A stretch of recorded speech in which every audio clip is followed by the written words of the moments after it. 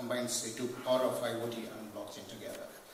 So it is run on a, a unique uh, network uh, called Karma Capsule Network. Basically, we capture the data, uh, AI, and the state and create an object out of it and make a network out of it. So it's a blockchain, you can call it as a blockchain, but it's a unique type of blockchain. So we all know the industry problems, but let me, you know, the root causes of the industry right now, what, why we are looking at blockchain, lack of transparency, intermediate, you know, inefficiency with the intermediates, uh, processes, lack of trust, which is the most important thing, and then the lack of intelligence within the business network itself for self-correction. Uh, so we have a, a, solution to the problem in terms of uh, encapsulating the values rather than working with the naked data. We go all the way to the value and capture it. And then uh, we create an enterprise digital twin which will talk to the enterprise, which is the guy who is buying it from the business network, right? So it has to make sense for the enterprise to use these values. And then we create a monetizable assets, basically tradable. You can call it as a digital assets or crypto-based asset. We don't deal with cryptocurrency, but digital assets. So um, in this challenge, obviously we have two parts of the challenge. One is to talk to the DERs to find the fraud. Uh, and the second thing is how to create tradable assets through the smart contracts from the uh, energy certificates.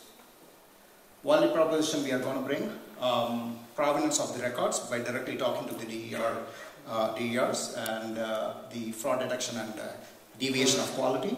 Uh, then non-fungibility. This is most important thing basically, you know, whether we, somebody is replacing one uh, digital asset, the source with the other. So entire trading is based on the fungibility in, uh, of the asset. So we focus on the non-fungibility, making sure that people are not replacing one with the other. Um, then we preserve the values inside our network. Uh, that's a great asset to the corporate corporation. And bunch of other things, analytics, talking to the ERP and all. Um, step one, we build the consortium. We can build consortium blockchain as well as private blockchain, but in this case it's a consortium blockchain.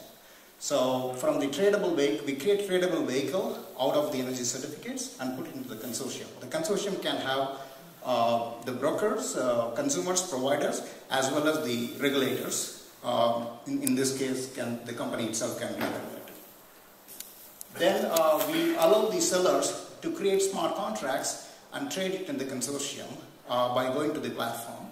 And uh, each consumer, you know, basically uh, can go to the specific outlet and consume a specific smart contract. So smart contracts are created when by the suppliers, uh, producers, then these, the same contracts are available in the network for consumption by the consumers. Since it's a trading platform uh, driven by the consortium, the rules of the house is determined by, can be determined in two levels, basically the governance. One is the constitution of the consortium itself can be written in, into the consensus of government and second thing is the bunch of smart contracts, enforcement of smart contracts uh, between the, the, the tradable uh, relationship between the buyer and the seller. So in that way, we have uh, two levels. If a smart contract, uh, you know, is not, we monitor the smart contracts for its uh, immutability. At the same time, we also have can give a con uh, control to the consortium for the majority of the nodes. So this is how um, the smart contracts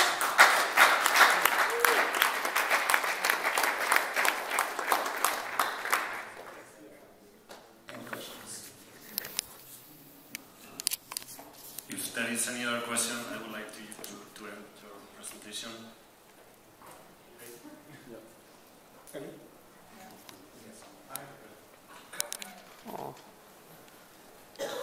You can only trade if you are part of the consortium.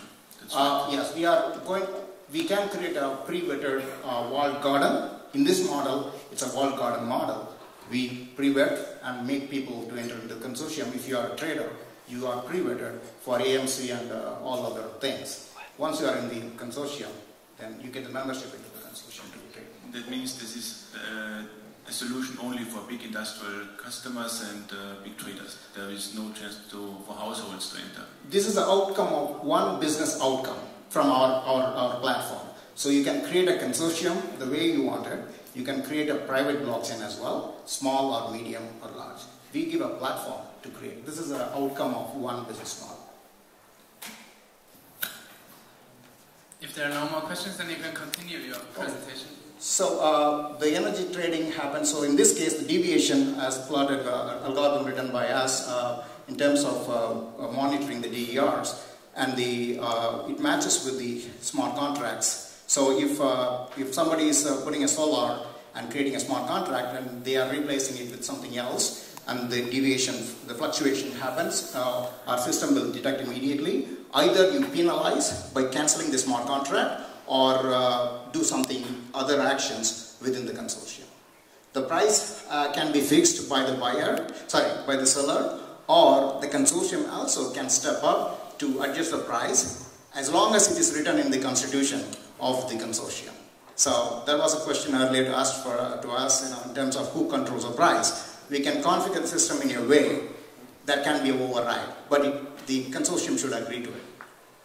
So this is how the data is you know, flowing from the end to end in our uh, network. Uh, this is the overall solution uh, from all the way from the uh, edge to the consortium.